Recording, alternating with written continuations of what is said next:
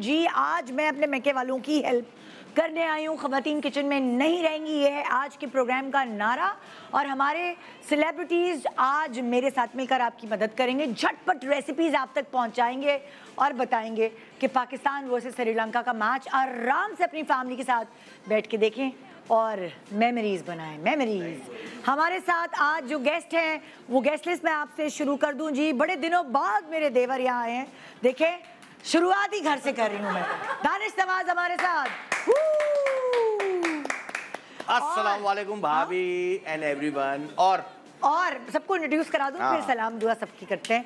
और तमाशा से निकल कर हमने मौका ही नहीं दिया ना कि घर पे जाके रिश्तेदारों से मिले। हमने कहा फिर से आ जाओ। चलो वापस यार आया हो फैजान शेख हमारे साथ। अस्सलाम वालेकुम। थैंक यू वालेकुम अस्सलाम। और जी यहाँ पे हमने कहा बहुत कर ली तुमने ड्रामेबाजी। चलो आओ किचन में। बनाओ हमारी खातन के लिए खाना।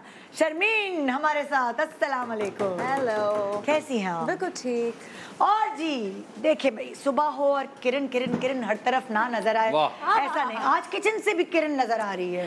हमारी किरण सुबह की किरण। हेलो अस्सलाम वालेकुम। अस्सलाम वालेकुम अस्सलाम अस्सलाम। किरण। मैं शो से पहले ना एंजॉय कर रही थी दानिश का जो पोस्ट है। दानिश वैसे ही आ जाए ना जरा। वो पेपर हाथ में हाँ। और वो वाले चश्मे इतना कोई क्यूट लग रहा है मौसम की खबरों का हाल देंगे दानिश नवाज़ ये मतलब फुल सीरियस थे आज की रेसिपीज़ के बारे में।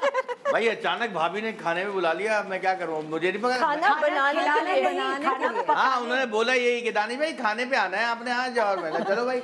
यहाँ पहुँचे तो बोला कि आप खुद पकाएँ और खा लें। क्योंकि इनको पूरा भरोसा है जो मैं पकाऊँगा वो मैं खुद ही खा सकता हूँ। अपना खाना खुद पकाओ। अपना खाना खुद पकाओ। और खुद ही खाओ। खुद ही खाओ। नहीं दानिश के हाथ के खाने मैंने खाए हाँ। के। मतलब आप ये क्रेडिट मैं लूँगी हाँ। कि दानिश को अगर कुकिंग का शौक कुछ जरासीम डाले गए हैं उस शौक के तो वो जीएमपी है। यस हाँ। मैं ना किचन में जाने से बहुत डरता था बल्कि मैं एग भी जब बॉईल करता था तो वो भी कच्चा बाहर निकाल लेता था कि मतलब मुझे इतना भी नहीं पता था कि अंडा भी कितनी देर में बॉईल होता है।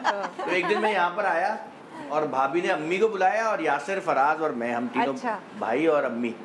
और चूँकि घर में मैं सबसे छोटा हूँ तो सबने मेरी क्लास लेने शुरू कर दी। जैसे नॉर्मली हाँ। जैसे आज आप देखते हैं ना मैं कॉमेडी करता हूँ सबकी क्लास लेता हूँ ये बेसिकली मैंने उनसे ही सीखा है। तो वो मुझे सबने झुकते देने सुने मैंने बताया छोड़ो भाई तू खाने पे कॉन्सेंट्रेट कर। तो मैंने पक, उस दिन पकाया तो इतफाक से अच्छा बन गया। जीत गया। वाह